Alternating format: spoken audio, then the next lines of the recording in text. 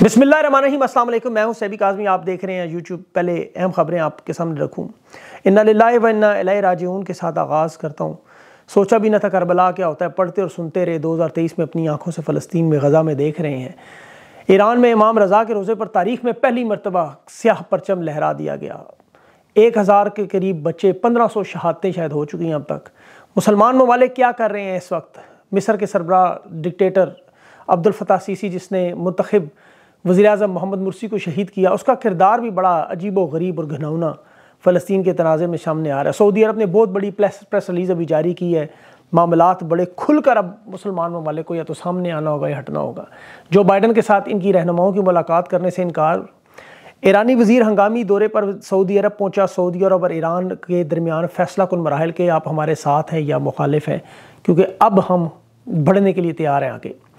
उर्दन और मिस्र जो है वो जो बाइडन के साथ मीटिंग करना चाह रहे थे, अरब इजलास था, जिसकी बड़ी पेशरफ होनी थी, वो भी कैंसिल हो गया।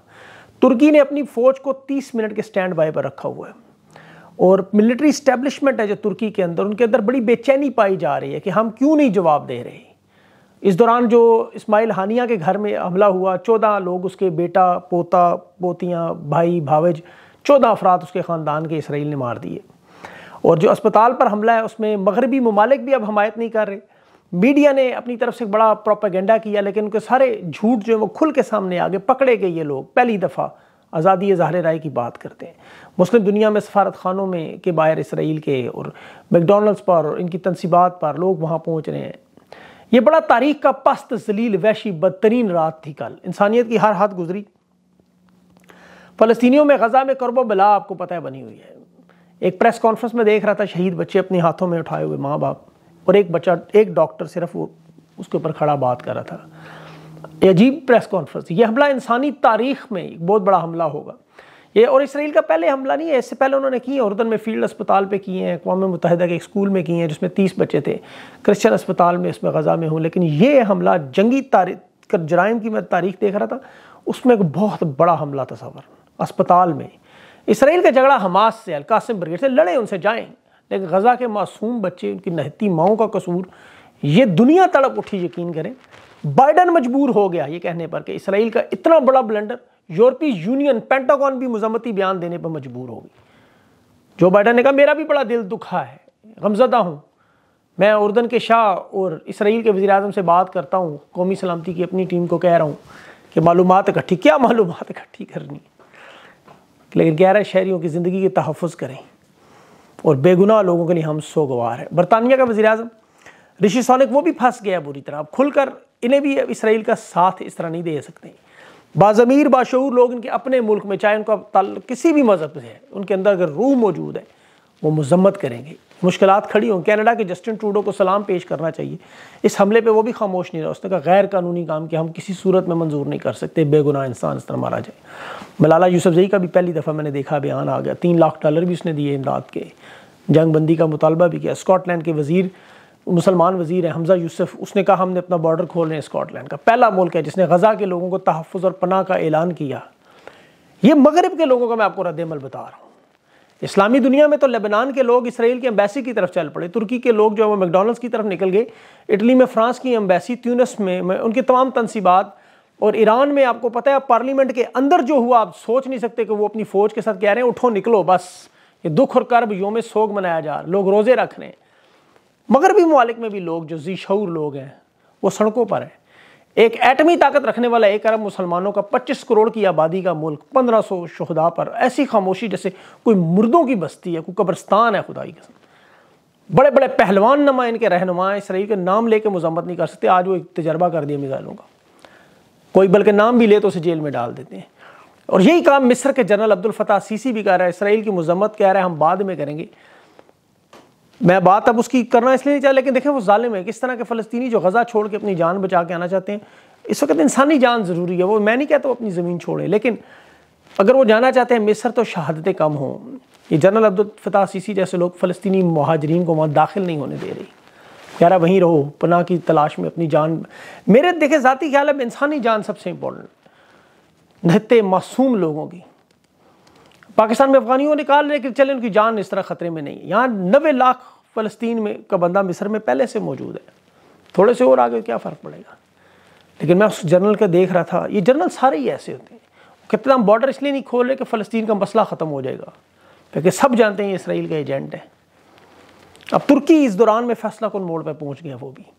ईरानी वजी खारजा अपनी आखिर, बड़ी और आखिरी मुलाकात सऊदी अरब से करने चाहिए क्योंकि वहाँ पार्लियामेंट में बहुत शोर मचा आज। वो बाहर आ गए सारे, उन्होंने कहा, नहीं, इस तरह नहीं हो। या हम अकेला भी लड़ने को तैयार है, अगर कोई मुसलमान हमारे साथ नहीं। इंसानी जान कीमती है। बाइडन की अभी इसराइल के साथ बातचीत है। उसे पता है उसके बाद फिर अभी गुरीला जंग शुरू होने जा रही है। ईरान के कमांडर इन चीफ का मैं बयान देख रहा था, अली फदावी।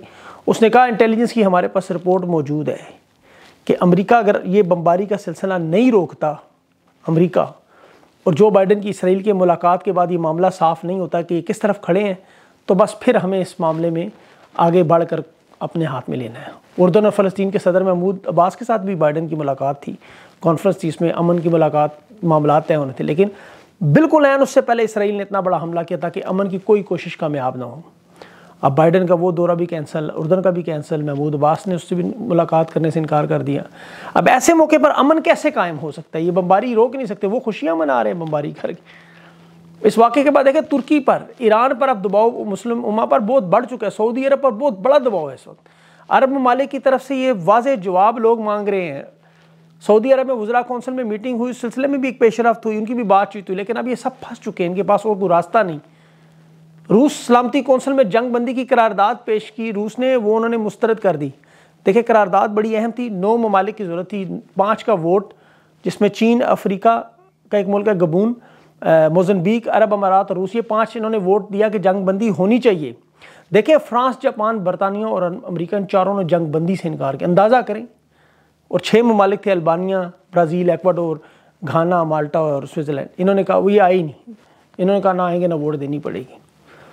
अब मगरबी मीडिया का किरदार भी सबके सामने खुल गया। सारे झूठ पकड़े जा रहे हैं एक एक करके। जैसे इराक की जंग में कहते रहे, जी, इनके पास कीमियाई हथियार है वेपन ऑफ़ मैस डिस्ट्रक्शन है। पूरा इराक तबाह कर दिया। झूठ निकला, सोरी करके भाग गई। जंगी जराइम में कितने लोग उन्होंने मारे, इसका कोई कसूरवार नहीं ठहरा। फिर यूक्रेन की जंग में आप देख रहे उसके बाद अभी बच्चों के सरों वाली झूठी झूठी कहानी इन्होंने बनाई, पकड़ी अब अस्पताल पे रंग बिरंगी कहानियाँ, कि जी अस्पताल में हमास का असलहा पड़ा हुआ था, यहाँ हमास ने खुद अपने बंदे मार दिए। अब इसराइल की अपनी जो फेसबुक पेज पे फौज लिख रही है, कि अस्पताल के अंदर तबी साजो सामान और हमला नहीं था तो हमने अस्पताल पे हमला करके तकलीफ़ ख़त्म कर दी। न्यूयॉर्क टाइम ने तीन तरह हेडलाइंस बदली। पहले खबर लिखी, उनकी देखें आप उस ट्विटर पे मेरे लगी हुई है। कभी कुछ शहरी मारे गए, फिर गज़ा में 500 लोग मारे गए, फिर कहते, गज़ा के अस्पताल के अंदर धमाका हुआ।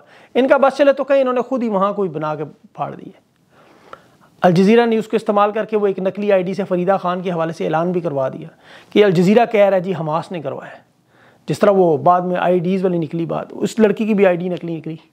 दस अरब डॉलर इसराइल को मदद मिल रही है अमरीका से। और इस्लामी ममालिक क्या कर रहे हैं? एक दूसरे का सिर्फ़ बातें।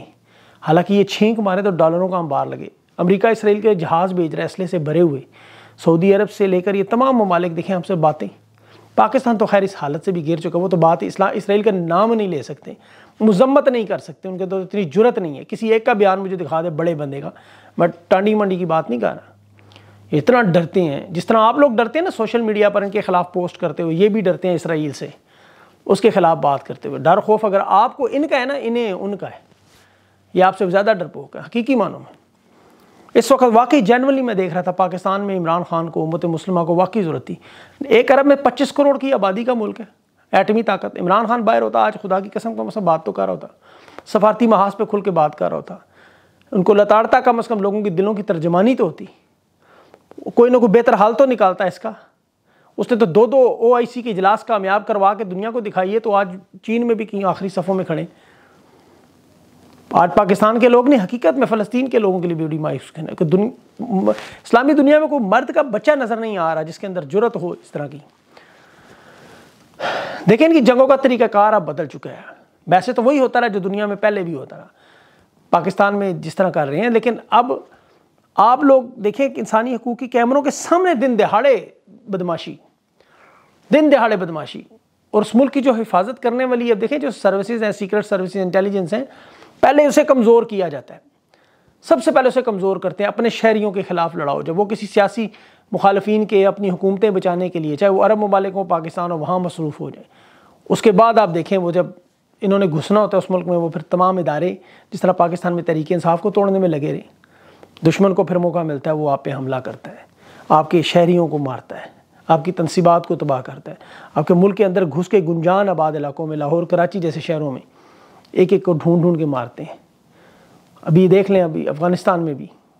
इन्होंने अफ़गानिस्तान ने चाइना के तावन से तकरीबन उनहत्तर लाख कैमरा लगाया आपने वो सत्तर लाख एक कैमरा। आप लोग भी इस तरह कैमरों का जाल बिछाएँ कम अज़ कम। जो मजाले माएँ वो लोगों को दिखाएँ तो सही, चाहे वो आपके ऊपर इसराइल करे या ये अब खुद आपके अपने करें। आवाम तक ये बात तो पहुँचे। सोशल मीडिया का दौर है, कम अज़ कम ये चीज़ें तो हैं। अब तो ये चीज़ें रोकी जा रही हैं सबसे बड़ी। उस प्लेटफॉर्म की फिर हदायत पर अमल भी करें, जज्बाती ज़रूर हों, लेकिन एहतियात का दामन ज़रूर इस्तेमाल करें। देखें, जिस तरह मगरबी मीडिया अब एक्सपोज हो चुका है, अब आपका भी काम है, इसको बड़े तरीके से अपने मौक़ का इजहार ज़रूर करें, लेकिन उनकी गाइडलाइंस को देख के। क्योंकि आप इस वक्त कमज़ोर हैं, चाहे फ़लस्तीन में या पाकिस्तान में, इसलिए आपको ये बड़े एहतियात से सारा मामला करना है। मगरबी मीडिया, देखें, इस अस्पताल के सामने को कैसे कवर अप कर गया है। कितने तरीके से उन्होंने इसको कवर किया? आप खोल के सारी हेडलाइंस दुनिया की देखें, उन्होंने इतना बड़ा सानहा तारीख का तारीख का इतना बड़ा सानहा उन्होंने क्या बना दिया एकदम। बहरहाल इन इस पर आपको मजीद अपडेट करूँगा। बाइडन अभी पहुँच चुका है, उसे इसराइली वज़ीर वेलकम कर रहा है। और उनकी मुलाकात शुरू होगी। इसके बाद जो डेवलपमेंट्स होंगी, यहाँ से और अरब दुनिया से, उन मामला पे आपके साथ ज़रूर शेयर करूँगा। अपना ख्याल रखें मुझे इजाज़त दें। जल्द इंशाल्लाह मुलाकात अल्लाह हाफ़